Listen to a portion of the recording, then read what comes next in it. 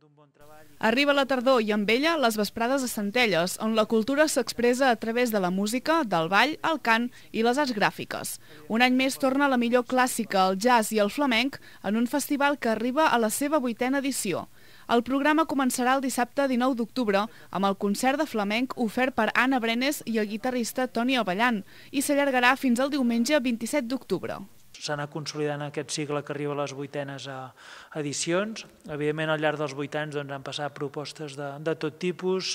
i enguany jo crec que hi torna a haver un cartell de moltíssima qualitat i que al llarg de dos caps de setmana amb, amb quatre activitats doncs, la gent podrà gaudir de, de, de tipologies de, de música, doncs, diferents. El que és més interessant doncs, és poder gaudir en el municipi de propostes interessants a l'entorn del jazz, activitats per, per menuts, activitats fetes per joves, activitats fetes per, doncs, per professionals i, en definitiva, doncs, que una oportunitat més per gaudir de, de Centelles. El diumenge dia 20 hi haurà el concert de joves intèrprets, aquest any amb els alumnes de l'Escola de Música de Centelles, del Consistori de Música del Liceu, de l'Escola de Música de Vic i de l'Institut Oriol Martorell. En el moment de, que va néixer Vesprades tenia molt clar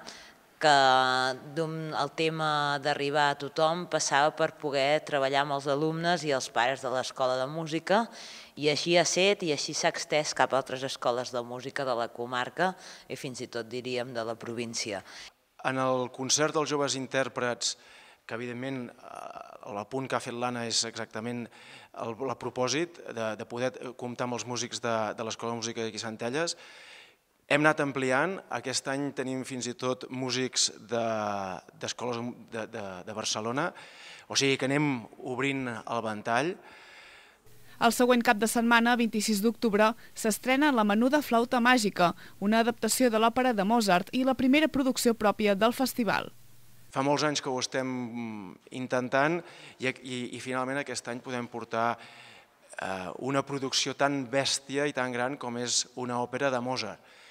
A més a més, eh, feta artesanalment, sí que és, ha sigut un, un, una miqueta complicat poder-ho lligar tot i ara jo crec que tenim un, un concert, una, un plantejament eh, fantàstic amb els millors Eh, participants que ens podíem imaginar, amb molta il·lusió. La clausura serà el diumenge 27 d'octubre i enguany anirà a càrrec de Yadira Ferrer, cantant i compositora que presentarà el seu treball del jazz a la rumba.